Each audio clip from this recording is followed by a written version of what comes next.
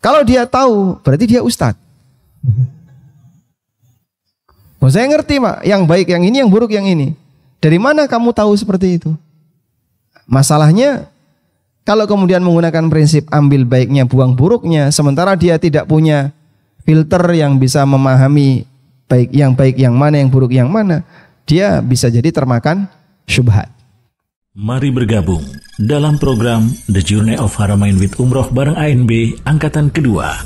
Insya Allah akan diberangkatkan akhir Februari 2024. Hubungi 0812 9090 4331. Selanjutnya yang ketiga, berkaitan dengan masalah kajian sunnah. Ini kan kita tidak bisa menilai ya, apakah ini kajian yang baik atau kajian yang bagaimana kita tidak bisa menilai. Ada sebagian di antara ikhwah yang dia pokoknya nonton semua. Ditonton, ini ditonton, ditonton, ditonton. Dan dia punya prinsip, ambil baiknya, buang buruknya. Mereka yang punya prinsip seperti ini, kita itu bingung. Kamu tahu yang baik, yang yang buruk yang dari mana? Kok sampai kamu bisa memastikan ambil baiknya, buang buruknya? Dari sekian materi ini, kamu tahu nggak yang baik mana, yang buruk yang mana? Kalau dia tahu, berarti dia ustadz. Oh, saya ngerti pak, yang baik yang ini, yang buruk yang ini. Dari mana kamu tahu seperti itu? Masalahnya, kalau kemudian menggunakan prinsip ambil baiknya, buang buruknya, sementara dia tidak punya filter yang bisa memahami baik yang baik yang mana, yang buruk yang mana, dia bisa jadi termakan syubhat. Sehingga Sufyan ibnu Uyainah memberikan nasihat. Asyubhatu qattafah wal qulubu dha'ifah. Syubhat itu menyambar-nyambar. Sementara hati seorang hamba itu lemah. Sehingga kalau dia tidak kuat menahan syubhat, bisa jadi dia termakan syubhat. Dalam satu forum yang di situ ada tokoh Mu'tazilah Tiba-tiba tokoh Mu'tazilah ini mengatakan di depan banyak orang. Ma suci Allah dari terjadinya sesuatu di alam ini yang tidak dia cintai.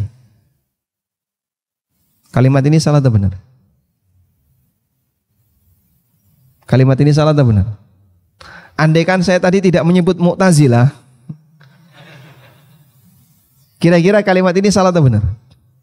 Ma suci Allah dari terjadinya sesuatu di alam ini yang tidak Allah cintai. Kalimat ini salah atau benar? Salah. Kenapa salah? Karena tidak semua yang terjadi Allah cintai. Mu'tazilah menyampaikan ini di forum masyarakat. Ada salah satu tokoh alusunnah yang menyadari ini akidah Mu'tazilah yang berbahaya. Karena dia akidahnya Qadariyah. Menolak bahwa perbuatan maksiat manusia itu takdir Allah. Mereka tolak. Akhirnya ulama sunnah itu menimpali perkataan Mu'tazilah tadi dengan mengatakan, Ma suci Allah dari terjadinya sesuatu di kerajaan Allah di luar kehendaknya.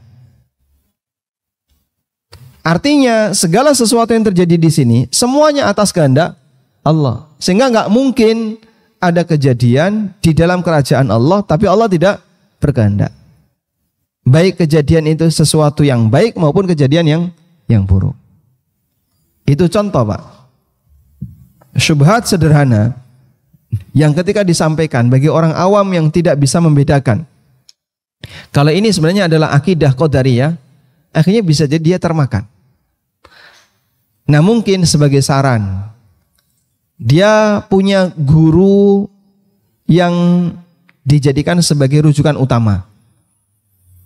Dah, tapi kan tidak setiap hari dia harus bisa ketemu guru ini. Saya misalnya menjadikan si A, si B ini sebagai guru utama saya.